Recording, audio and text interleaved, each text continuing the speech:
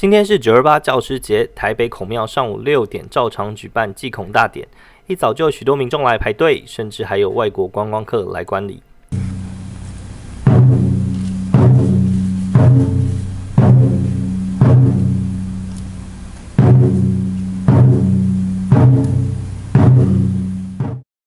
孔子诞辰式殿典礼过去备受重视，马英九、郝龙斌都曾亲自出席并担任视线官。但柯文哲却以兴趣不同为由，上任连续两年都缺席典礼。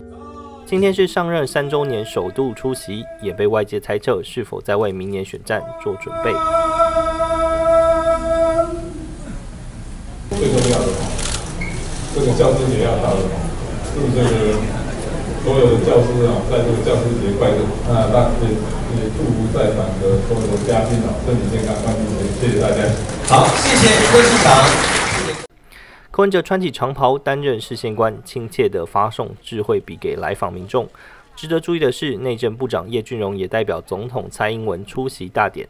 这是警局人事大地震后，柯文哲首度和叶俊荣在公开场合会面，两人的一举一动也备受关注。